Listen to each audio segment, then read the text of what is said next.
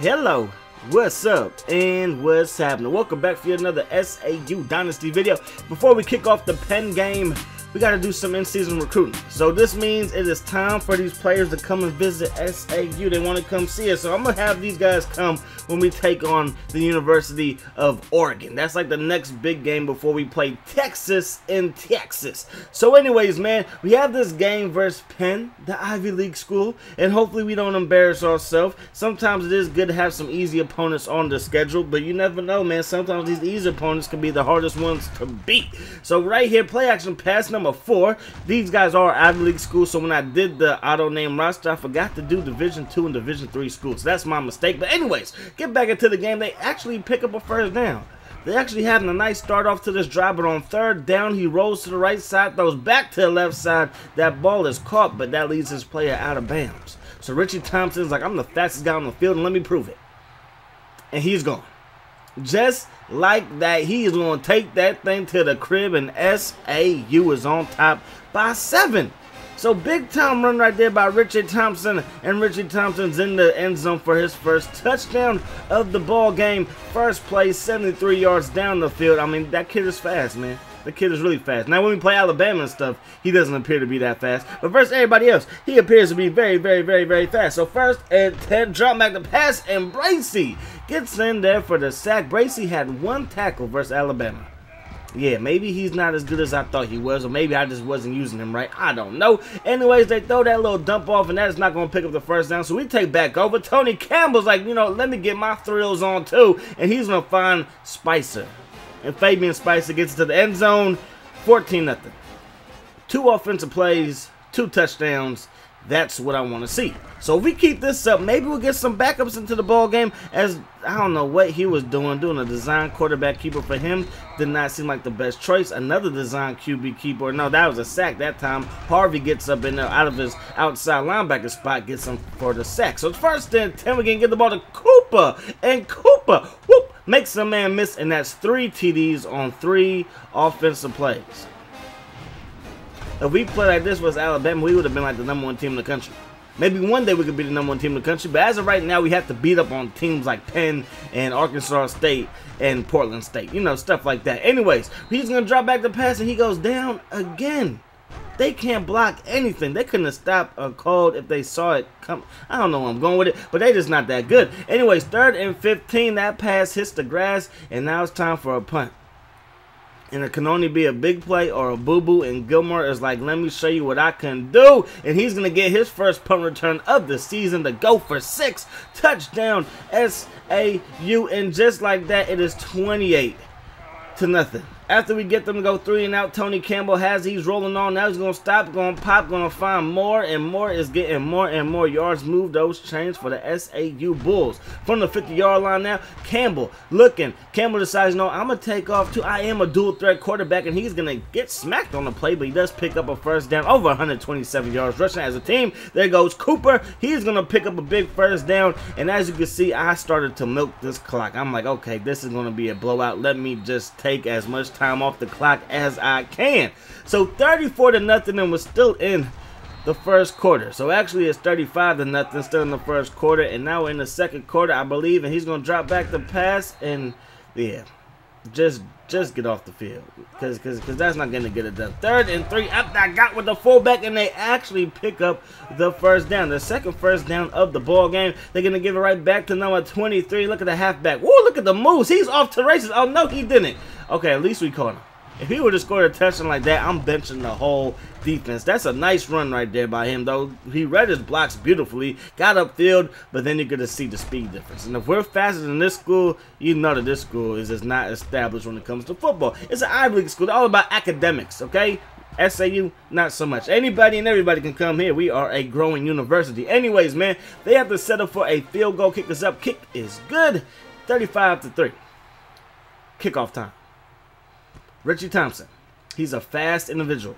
This is his second time touching the football all game. Made that dude look silly in that 92, I believe it's 93, 92 speed. He's going to take it to the crib. High stepping his way into the end zone. You need a high step on him, Richie Thompson. That was not necessary. But he, he has touched the ball two times and he has two touchdowns. Kind of like what Randy Moss did his rookie year versus Dallas Cowboys. I'm just saying. Anyways, that pass hits the grass and now it's third and inches for SAU as we take over and we get him pick up the first down. Cooper, Chris Cooper to be exact, he's going to do just that and pick up a fresh set of downs. But then they drop the D lineman in coverage and that threw Tony Campbell. You know, you know, Penn is full of a whole bunch of smart dudes, and that was a smart play call right there by the defensive coordinator. Now they're gonna pit, now they're gonna throw this one to the outside. He runs over a man, and that doesn't get it done though. So on fourth down, they decide to go for it. Not the best pass by the quarterback, and now it's 42 to three. We have the ball right back. Second and ten. Tony Campbell is off to races. He's pretty fast too. Gets a nice block right there. Crosses the 30. I'm not even holding the turbo button as you can probably tell. And that's going to result in another touchdown. So it's 49 to 3. Yeah, 49 to 3.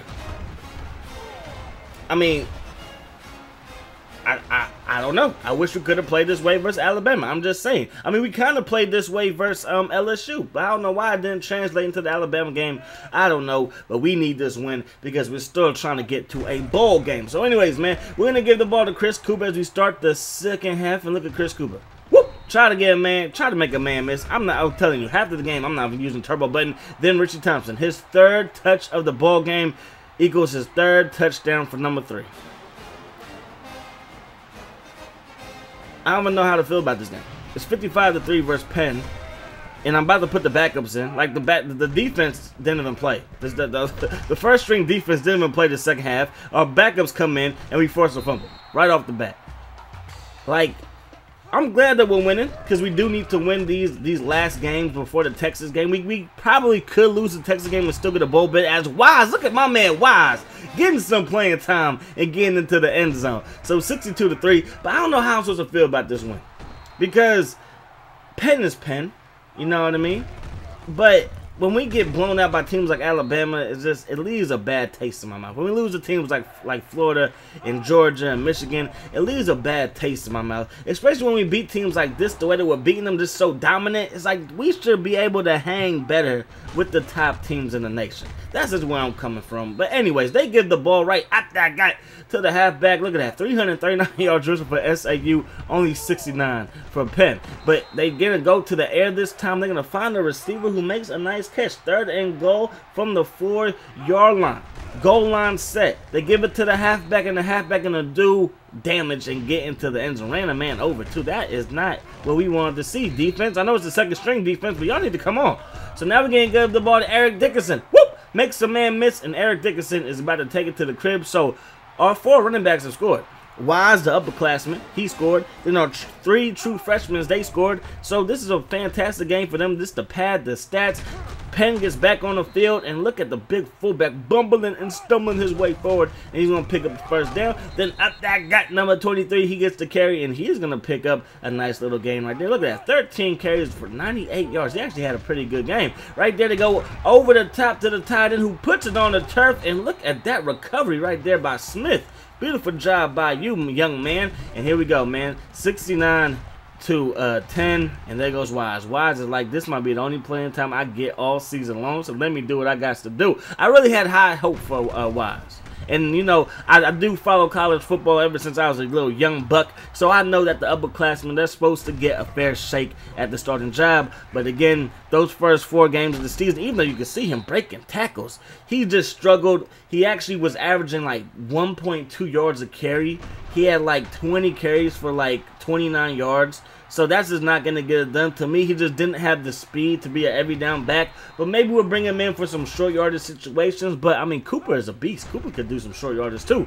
But anyways, drop back to pass. going to find Green. And Green, the big tight end, he sees money. And he gets into the end zone. Touchdown SAU big time game, big time win. Okay, maybe not a big time game, but a big time win. Our most lopsided win in school history 76 76 to 10. Yes, I'm, i did miss a PAT. I did miss a PAT somewhere along there. So, yeah. Anyways, man, that's going to wrap this one up. We get a big time win. Our next opponent, I believe, is Arkansas State. then we have Oregon, then we have Portland State, and then we got the showdown with Texas. So hopefully we can do work. Hopefully we can get this thing rolling in the right direction, and hopefully we can finish off this year on a very, very big, very, very good high note. But anyways, hope you guys enjoyed the video. As always, I enjoyed bringing it to you. Hope that the rest of your day is the best of your day. I'm going to see y'all later. Peace. How's